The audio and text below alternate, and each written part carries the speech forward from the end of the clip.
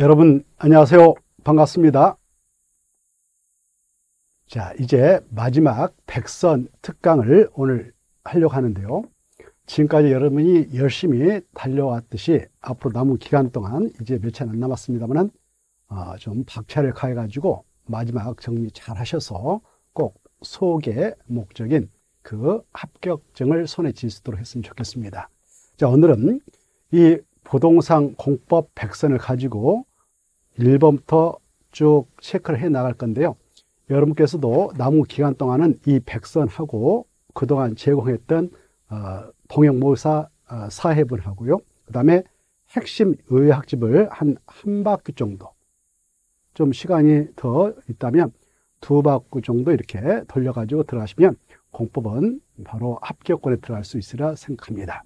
그리고 최근에 부동산 공법 개정된 내용을 제가 자료를 제공해 드렸는데 이 내용을 같이 체크를 해 보고 그 다음에 백선을 풀어나가도록 할 예정입니다. 이 자료는 이미 게재해서 올려놨으니까 출력 받아가지고 꼭 체크를 해 보시고요. 거기에 핵심 요약집의 그 페이지하고 기본서의 페이지 그리고 예상 문제집의 페이지를 싹 일거를 해서 제공을 해 드렸습니다. 자, 같이 보면 아, 부동산 공법 개정 내용 마지막 제공해서 어, 그 도시개발법의 일부가 개정되었고요. 그 다음에 건축법 시행령, 주택법, 그 다음에 농지법이 이렇게 최근에 개정이 되었고 우리 시험이 10월 28일 날 시행되는데 그 이전에 시행되는 그런 내용이기 때문에 우리는 이 내용도 체크하고 들어야 됩니다. 자, 그러면 먼저 도시개발법상 내용이 나와 있죠. 이 내용은 핵심 이론 요약집 부동산 공법 중 도시개발법 360페이지에다 어려 붙여서 한번 읽고 들어가면 됩니다. 이 내용은 어, 그 10월 19일 날 시행에 들어가죠. 어, 이 내용이 7월 18일 날 개정돼서 시행 날짜가 10월 19일입니다. 그래서 우리 시험 시행 이전에 시행이 되니까 그냥 읽고만 들어가면 돼요. 같이 보면은 도시개발법상 제65조 2해서 건축물의 존치 등이 새로 신설되었죠. 어, 1번 보면 어, 시행자는 도시개발구역에 있는 기존 건축물이나 그 밖의 시설을 이전하거나 철거하지 아니하여도 도시개발사업에 지장이 없다고 인정하여 대통령으로 정하는 요건 이 대통령령을 시행령이라 하는데요. 도시개발법 시행령 이 시행령은 시행 날짜가 되어야 나옵니다. 시행 날짜가 10월 19일이기 때문에 바로 이 시행령까지는 시험에 나올 가능성이 없겠죠. 그래서 이 법에 있는 내용만 가볍게 체크하고 들어가면 되겠습니다. 그 요건을 충족하는 경우에는 이를 전치하게 할 수 있다 이렇게 되어 있죠. 그래 이 도시개발 구역이 이렇게 지정이 되어 있는데 이 안에 이렇게 건축물이 신축된 거 있다고 가정합시다. 최근에 오늘 도시발구역이다라고 지정 고시해놨는데 최근에 신축된 건축물이 있다. 그러면 이걸 철거해버리면 경제적 손실이 크겠죠. 그래서 이런 것들은 도시개발 사업 시행에 아무런 시장을 주지 않겠다라고 시행자가 판단하면 이건 전치 철거하지 않고도 전치를 시켜 나갈 수가 있다 그 말이죠. 자, 전치하게 할 수 있다. 있다 있다 딱 한번 체크하고요. 없다면 드리겠습니다. 그 다음에 자, 이 항을 보면 이 도시개발법상 도시개발사업 시행방식이 세 가지가 있죠. 수용 사용방식, 환지방식, 혼용 방식이 있는데요. 이 항을 보면 이런 21조에 따른 수용 또는 사용 방식으로 시행하는 도시개발 사업 시행자, 환지 방식 중 수용 또는 사용 방식이 적용되는 구역의 시행자, 즉 수용 사용 방식을 가지고 사업을 하는 시행자는 위 일에 따라 전체하게 되는 그런 시설물의 소유자에게 도로, 공원, 상하수도, 그밖 그 대통령으로 정하는 공공시설의 설치 등에 필요한 비용의 일부를 부담하게 할 수 있다 이렇게 되어 있죠. 있다 있다 체크. 그래 이 수용 생방식 가지고 여기서 도시개발 사업을 하는 시행자가 있다. 이 시행자가 이 구역에 도시개발 구역에 이렇게 도로를 도로를 이렇게 설치한다. 설치한다. 그리고 공원을 만든다. 이런 것들을 다 공공시설을 하죠. 이런 시설 설치할 때에 도로, 공원 이런 것들을 공공시설하는데 그 시설 설치에 따른 비용은 이 시행자가 부담합니다. 이 구역에 이런 공공시설이 새롭게 사업차 등장하게 되면 이 건축물 가격은 상승하게 돼 있죠. 근데 이 건축물 소유자가 갑이라 합시다. 갑은 간접적으로 재산상 이익을 누리게 되었죠. 그래서 이 갑이란 자에게 갑이란 자에게 이 공공시설 설치할 때 들어가는 비용을 좀 부담 좀 하세요라고 부담케 할 수 있도록 법적 근거를 제공하게 되었습니다. 그래서 이 공공시설 설치에 들어간 비용을 이 갑이란 건축물 소유자에게 부담하게 할 수 있는가 없는가 법적으로 하게 할 수 있다. 있다가 중요해요. 있다. 부담하게 할 수 있다. 있다 했다 체크. 그 정도는 봐두시고요. 없다면 드리겠다. 있다. 그 다음에 건축법 시행령이 어, 그 9월 12일 바로 개정되었고 바로 시행에 들어갔는데요. 우리 어, 핵심 이론 요약집 부동산법 427쪽 박스안에 가로 1번과 2번 나와 있죠. 거기다 어, 수정해서 공부를 하시면 좋겠네요. 기본세도 그 페이지 575페이지 이렇게 다 써놨잖아요. 그래 1조의 확보를 위한 건축물로 높이장 있죠. 이렇게 이 대지가 전용 주거적이라든가 일반 주거적이 있다. 그때 여기다 이렇게 건축물을 건축하자 할때 동서남북 이걸 어, 정북 방향 쪽에 인접대의 경계선을 하죠. 인접대의 경선로부터 여기다 건축물을 건축하자 할 때는 정북 방향 쪽에 잡아오고 있는 이쪽 대지 소유자 이렇게 건축물 건축해서 살고 있다면 햇볕을 가릴 수가 있잖아요. 그래서 그자 일조권을 보호하기 위해서 이 건축물의 높이를 제한하는데 이걸 1조의 확보를 위한 건축물 높이 제한하죠. 이때 이 건축물 높이를 9m 이하로 할 것 같으면 정복 방향 인접대 경사를 기준해서 1.5m 띄어서 건축해라라고 규제하고 있었죠. 그 높이가 9m를 초과하면 그 건축물 높이의 2분의 1 이상 띄어가지고 건축을 하도록 했었는데요. 요즘에 이 건축물을 건축하게 된 자들이 1층의 층고, 층고 높이를 엄청 높게 잡아서 올리는 경향이 있습니다. 그래서 그 점을 감안해 가지고 9m를 10m로 상향하게 됐다는 거, 수치. 10m를 기준해서 10m 이하는 1.5m.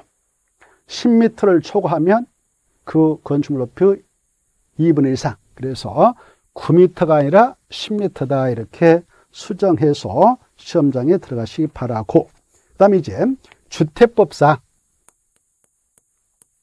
우리가 주택조합을 공부했죠.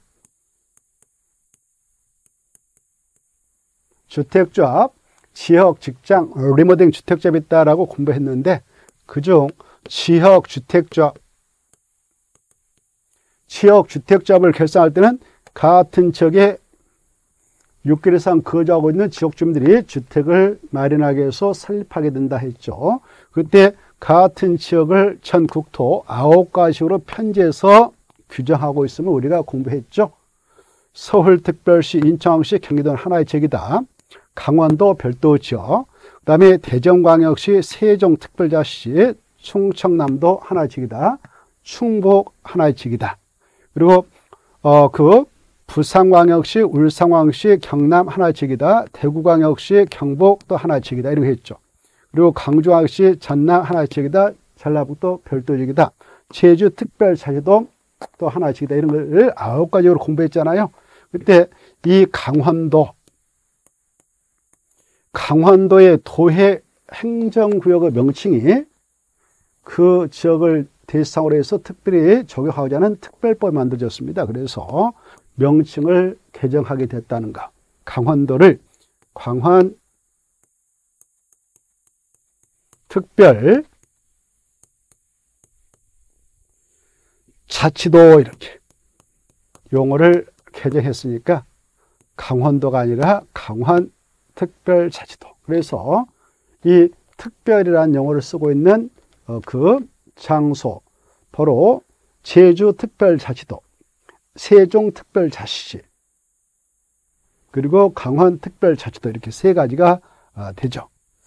자, 이것들 좀 봐두시고요. 우리 핵심 이론 요약집 462쪽을 체크하면 돼요. 기본서 페이지까지 다 체크를 해드렸으니까 보시고. 자, 그 다음에 어, 농지법이 좀 개정돼 있죠. 농지법이 예, 개정되었는데 어, 이 농지 소자들 자기가 농지 소유하게 된 그 경우 농사를 직접 재야 됩니다. 이걸 자경이라 하죠. 그래. 그런데 어, 자기가 농지 소유했던 거 막 내가 농지 농사 지려고 농지를 법적 절차 거쳐서 취득했다. 그래 농사 1년도 안 짓고 그냥 다른 사람한테 빌려줘 버린다. 돈 주고 빌려주면 임대차, 공짜로 빌려주면 사용대차, 무사용 사용을 하게 할 수 있는데요. 그걸 원칙으로 금하고 있죠. 외회적으로 법정된 사유가 있을 때 한해서만 임대차, 농지 임대차, 사용대차를 허용하게 되는데요. 그런 사유와 관련해서 개정된 게 있습니다. 세 가지. 그래 핵심 이론 요약집 부동산법 516조 박스 안에 어, 그 로마자 2하고 3하고 5를 수정하면 된다. 그 내용을 기본서에서 수정할 것 같으면 밑에 칸에 있는 700 기본서 764쪽 박스 안에 있는 거 가지고 수정하면 돼요. 양자 중 하나를 수정해서 공부를 하시면 되겠는데 자 저는 핵심 이론 요약집 516쪽에 있는 것을 바탕으로 해서 체크해 드릴게요. 자 거기 보면 이 소유하고 있는 농지, 내가 농지를 소유하기를 농사를 칠 목적 가지고 소유를 하게 됐다. 이걸 자기의 농업 경영에 이용한다 이렇게 표현합니다.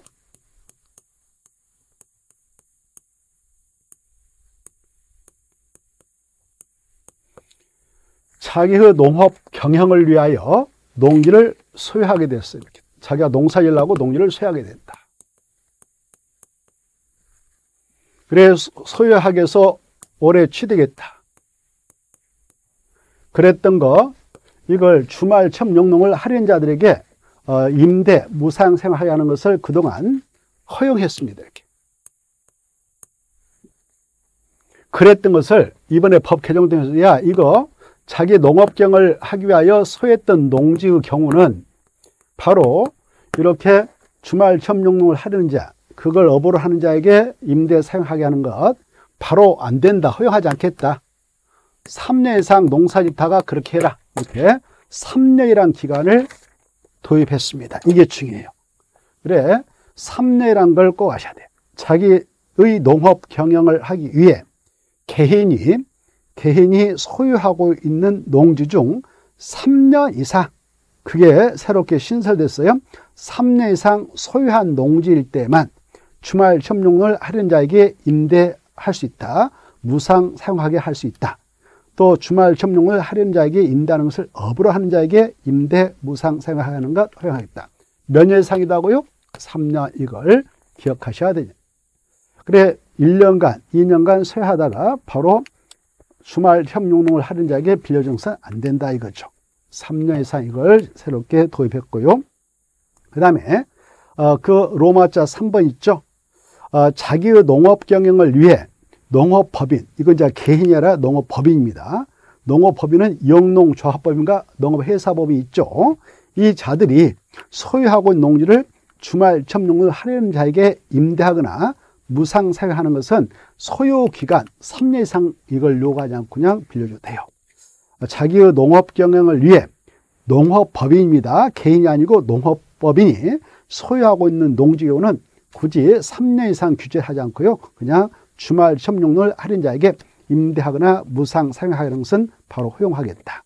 그 다음에 로마자 5번 자기의 농업 경영을 위해 개인했다 동함이 개인이 소유하고 있는 이 농지 이렇게 자기의 농업 경영을 하기 위하여 이 농지를 소유한 자가 개인이다.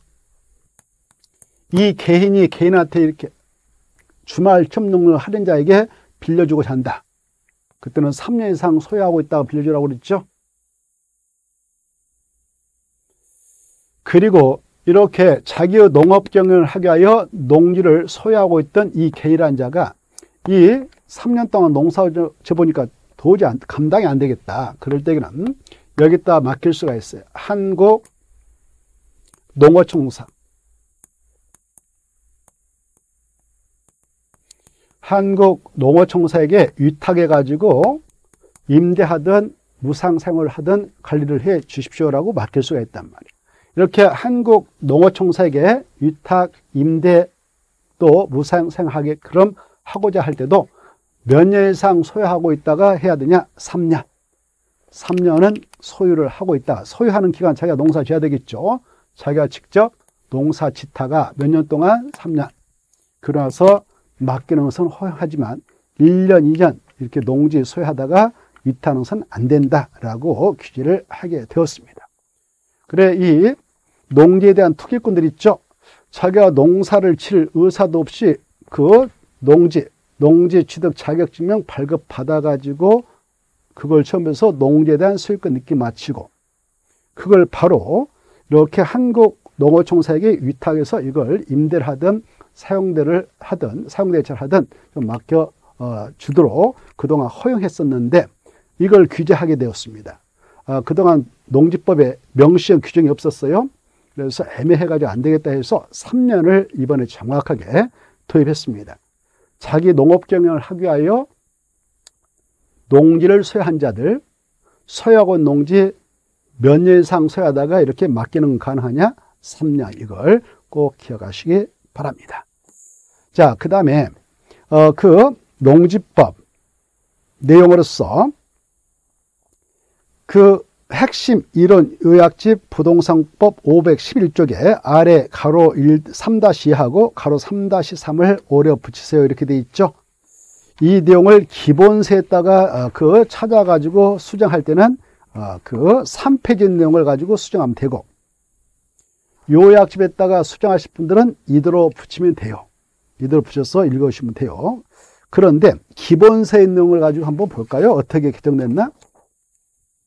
자, 개정 전에는 어, 농지 소유자들 그 농지법상 일정한 사유에 해당하면 그 사유가 발생한 날부터 1년의 농지를 처분해야 된다는 농지 처분 의무 규정을 규정하고 있죠.